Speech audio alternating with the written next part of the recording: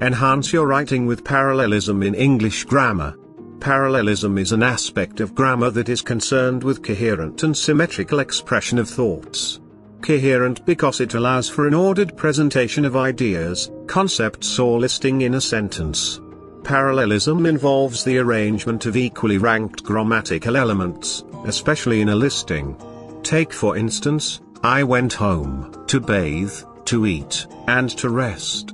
If you look closely at the sentence above, you would notice that each of the items in the listing is an infinitive phrase, and this helps in striking a balance between the listed items, adding rhythm to the sentence, and logical flow of ideas. Now observe this contrary position, I went home to bathe, to eat, and resting. Can you identify the differences between this sentence and the previous one? This new sentence shows a lack of coordinations or coherence in its structure. The listing begins with an infinitive phrase and ends with gerund which breaks the balance and rhythmic quality of the sentence. It lacks symmetry in the way it presents the list of items. Parallelism, therefore, exists in two forms, namely, parallelism by listing. Parallelism by paragraphs. Parallelism by listing.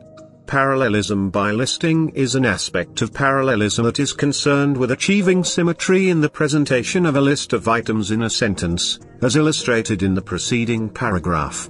A number of grammatical concepts can be used to ensure parallelism such as, infinitives, gerunds, words, phrases, or even clauses. What matters is that you end your listing, the way you started it. That is, the grammatical approach you used to start your listing must be sustained all the way through to the end of your listing. Listing in infinitives. When you start a list with an infinitive or an infinitive phrase, every other item in the listing must take the same format in order to achieve parallelism. Take for example, he likes to pray, to cook, and to tidy every day. Compare with, he likes to pray, cook, and tidy every day. Although sentence B sounds more natural, it fails the test of parallelism because it does not correspond to the format with which the listing was started, infinitive phrase, and as a result, the sentence lacks symmetry and rhythm. Listing in gerunds. When you start a list with a gerund, verbs ending in ing that function as nouns, every other item in the listing must take the same format in order to achieve parallelism. Take for example, John likes walking, talking, and sleeping. Compare with, John likes walking, talking, and to sleep. The error is easily identifiable in sentence B, because not only does it sound unnatural, but it also obstructs the flow of the sentence with an abrupt end. Parallelism ensures unity of ideas in a sentence, so if you are starting a listing with a gerund, maintaining that format throughout your listing will ensure symmetry and coherence in your presentation of ideas. Listing in words. When you start a list with a word every other item in the listing must take the same format in order to achieve parallelism. Take for example, he is strong, talented, and agile. Compare with, he is strong, a talented man, and agile. The second list item in sentence, B, breaks the symmetry and balance of the sentence because it is a noun phrase slotted in the listing of items which already began as adjectives. What this means in simple terms is that phrases should not be used in the presentation of list items in a sentence when the listing started with a lexical category, or word.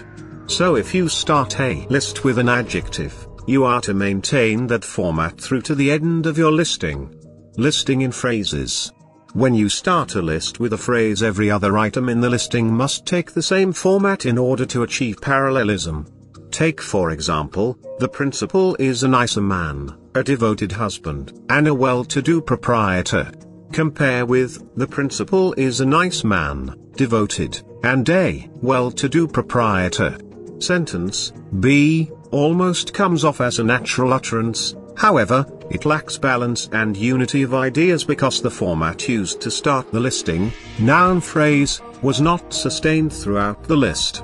When you start a list with a noun phrase or any kind of phrase, you are to maintain that format all the way to the end of your listing to achieve parallelism, that means, words should not stand as individual elements of a list item that already started out as a phrase.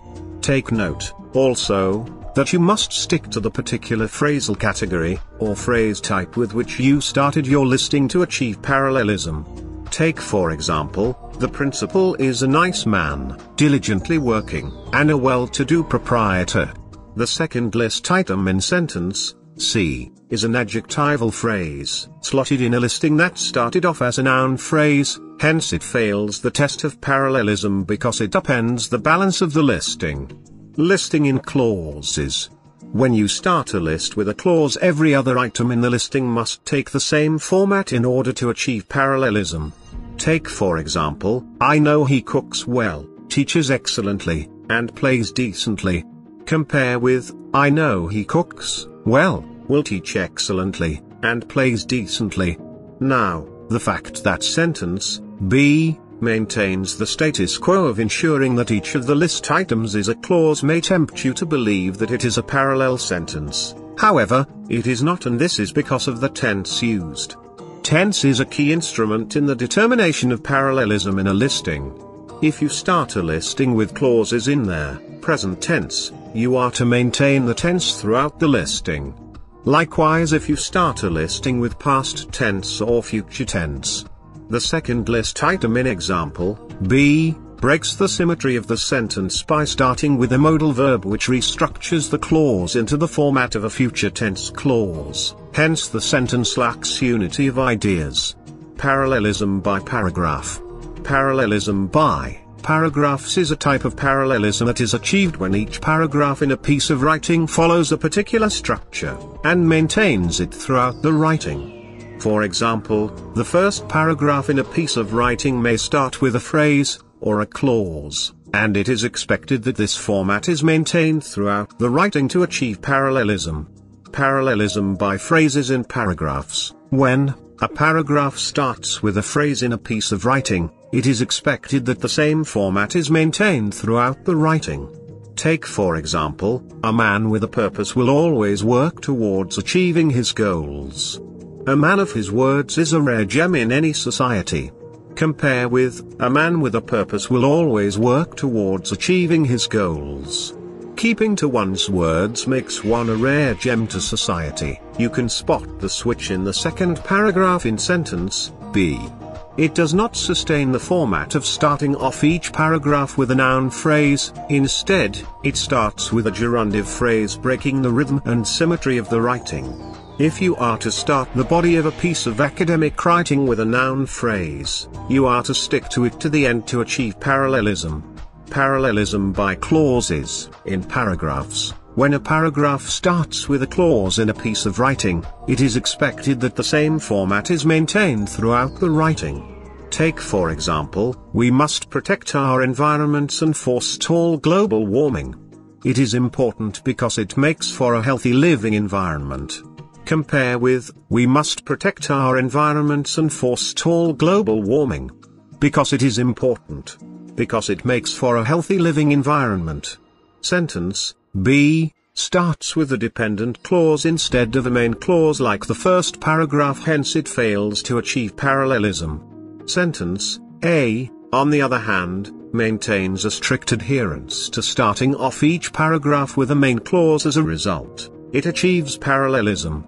So in essence, parallelism can be achieved in the body of a piece of writing when it adheres strictly to the format used in the first paragraph parallelism applies strictly to academic and more formal varieties of writing because these rules are not binding on creative writings, at least not all of it, and some forms of technical writing. See you soon.